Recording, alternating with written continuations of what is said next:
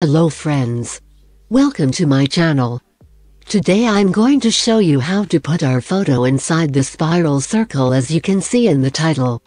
This trend is very common on TikTok and Instagram.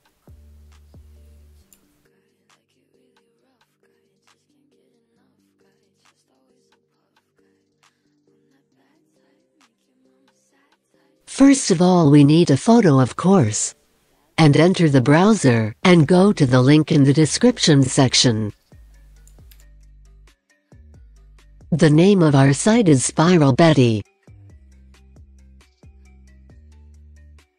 After we go to the site, we say upload an image and select the image we will process. We adjust the picture and press the confirm sign. Then we choose and set the color and scale of our image.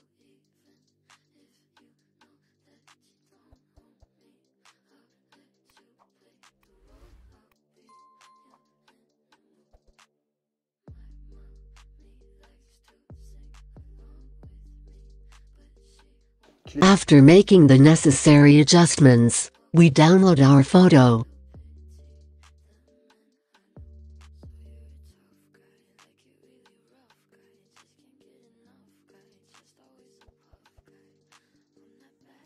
We will take help from the stories section of Instagram to adjust the size, etc. on the lock screen.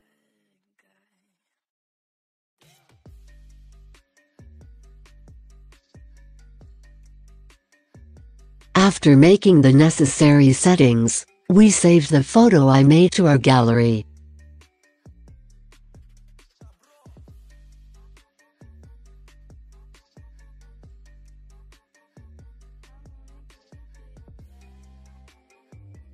Then we find our photo in gallery and set it as lock screen wallpaper.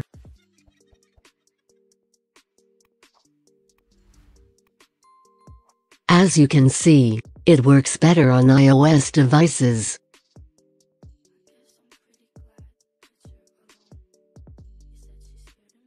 So, yes friends our video was like this.